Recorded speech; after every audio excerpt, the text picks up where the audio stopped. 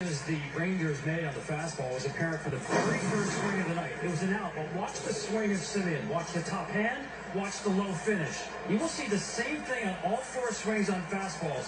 This is called getting on top of the baseball.